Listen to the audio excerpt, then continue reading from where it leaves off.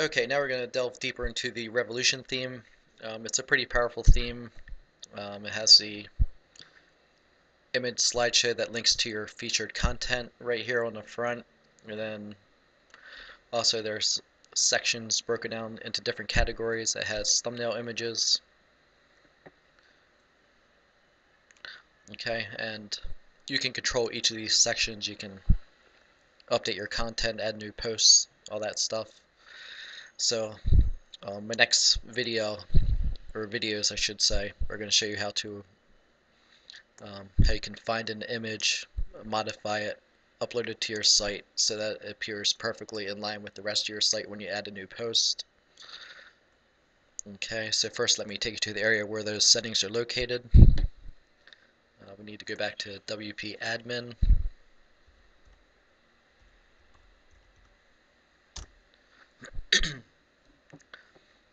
Okay, dashboard. Um, if you scroll down on the left, when you're left, you'll see settings. And then to control the featured content gallery, we go down to where it says featured content gallery. Okay, and again, the featured content gallery is this front section here with the image slideshow. Okay, you can feature your post from a certain category, or you can select individual posts, which is what I normally choose because I like to feature posts that are spread out in different categories. Um, now, what you if when you do that, you put in your post ID, and the way you can determine your post ID is um, it might be a little difficult for me to show you in this video. Um, let's open up my post in a new window.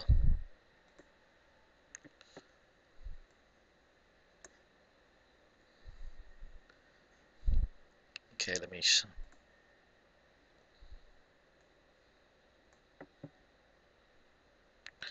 scoot this up here.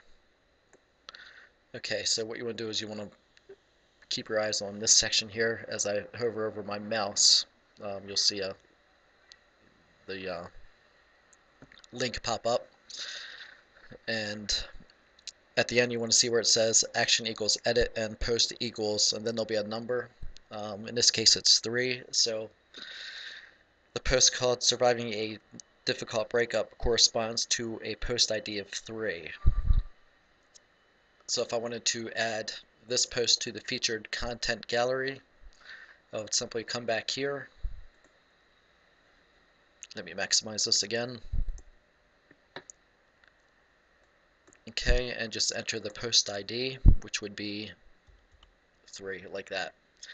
And if you leave this unchecked, this check here to randomize display. If you leave it unchecked, then the slideshow is going to go in the same order as it fades from one uh, picture to the next it's going to go in the same order as the post IDs you have listed here, but if you uh, check this box here, then they'll be randomized. Okay, um, let me show you how I have my categories set up. Actually, going to take this out because I don't want to feature this last post. Okay, so here's my list of categories. If I wanted to feature my post from one specific category. Um, let's say I wanted to do marriage help.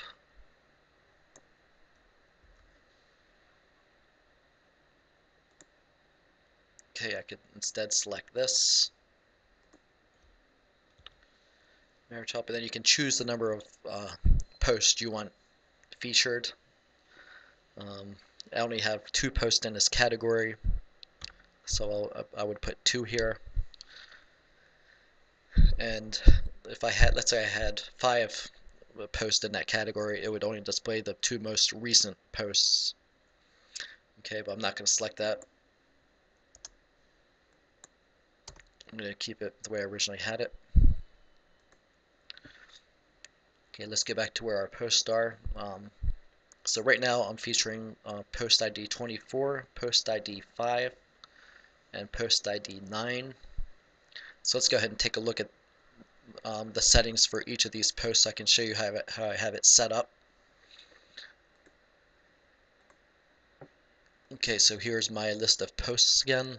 I'm going to need to smush this window so you can see the uh, status bar here. Okay, if you pay attention to this uh, bottom status bar, as I hover my mouse over, you'll see the uh, where the post ID is. Okay, so I'm featuring 24, I think 5 and 9, if I remember correctly. There's 5, there's 9, and here's 24. So let's go to edit.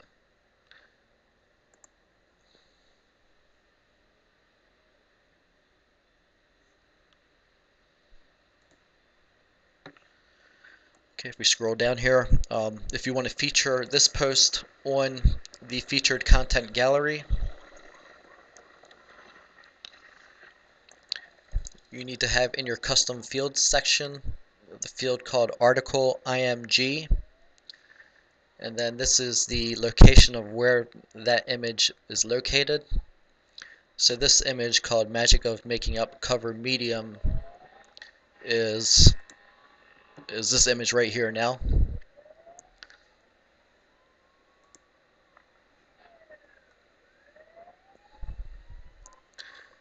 so if I wanted to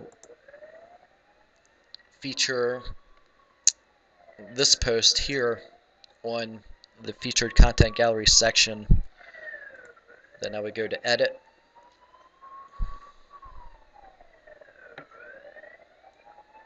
Okay, I would come down here to where it says add a new custom field. I'm going to select article image. And then what I would have to do is I would have to go find an image and then upload it to the server and I keep all my images in a section called uh, images here so for now I'll just put in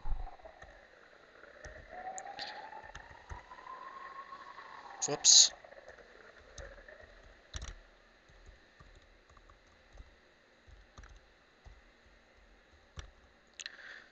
okay and once I have the image uploaded I'll add the name of the image itself and this part I will show you in the next video. Thanks for watching.